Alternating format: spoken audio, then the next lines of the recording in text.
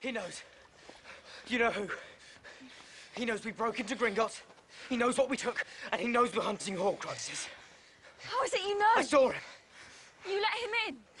Harry, you can't do that. Hermione, I can't always help it.